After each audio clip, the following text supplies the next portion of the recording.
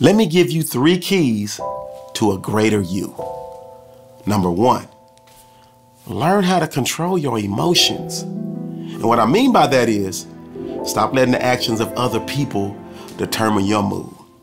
I get it. People will people. And today, somebody will do something that makes you feel some type of way.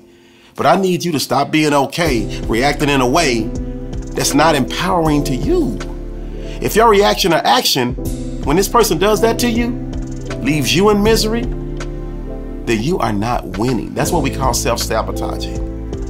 Never forget, you have the power to process any information that comes in and give it a meaning that truly empowers you. Number two, have an attitude of gratitude. Because gratitude fuels positivity. And it's a great reminder of the many blessings you already have. See, when you practice daily gratitude, you are building an abundance mindset. So your attitude is gratitude because you were blessed by the best. And thus, you will win this day and defeat all drama and stress. Number three, love you more so you can love them more. So when you practice daily self-love, it just naturally makes you feel better about everything. And everybody feels that.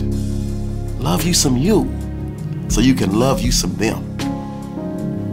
My advice for you is stop just liking the reflection you see in the mirror and start loving it. Because once you do that, the world's gonna demand it. But them haters can't stand it.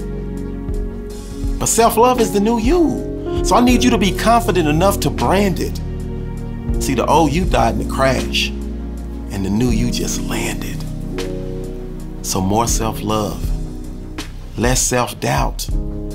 Let the great energy in and kick the hate energy out. And once you do that, you will find yourself climbing over the hump and making each and every day of your life a WINSday. This is a great day to win. Let's go.